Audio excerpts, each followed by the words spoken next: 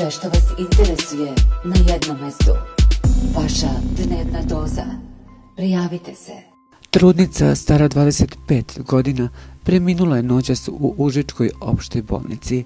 Trudnica je primljena u teškom opštem stanju u šestom mjesecu trudnoće. Dete je bilo bez znakova života.